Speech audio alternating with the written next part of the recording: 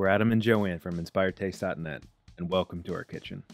We are showing you how to make our perfectly golden brown cauliflower steaks with our favorite chimichurri sauce. Cauliflower might sound a bit boring, but when you top it with this sauce, it's incredible. The trick to cauliflower steaks that don't fall apart is to make sure that each steak has some of the stalk attached.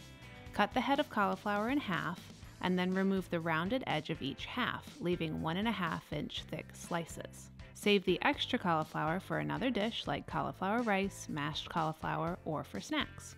To make sure that we get a perfect golden brown sear on each side of the steaks, we start them in a skillet. Place them down into some hot oil and cook until golden brown. Flip them and then cook until the second side is golden. While they cook, season the steaks with some salt. To finish cooking, slide the skillet into the oven and roast until the stems are tender. While the cauliflower finishes up, make your sauce.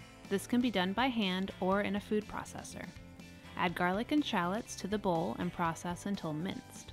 Next, add lots of parsley, some salt, and crushed red pepper flakes.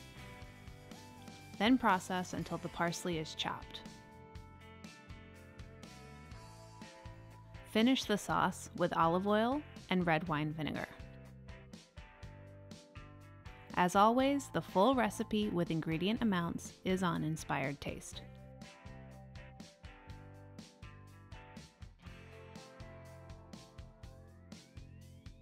Okay, the cauliflower is done. You can tell that they are done when a fork can easily slide into the stems. To serve, place the steak onto a plate and top with the chimichurri sauce. We love to add a lot of sauce. It's so good. By the way, you will have some sauce left over. Check Inspired Taste for more ways to use it. Enjoy!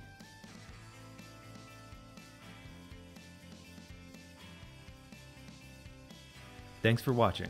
If you love this video, we have lots more. Make sure you subscribe to our YouTube channel and say hi on Facebook, Twitter, or Instagram. We're at Inspired Taste.